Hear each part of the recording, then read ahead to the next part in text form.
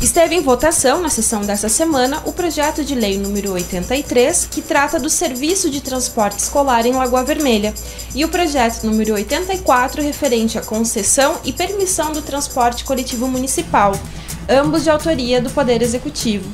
Inicialmente, a proposta encaminhada pelo Executivo alterava de 10 para 12 anos a vida útil dos veículos de transporte escolar e para 15 anos os veículos do transporte coletivo.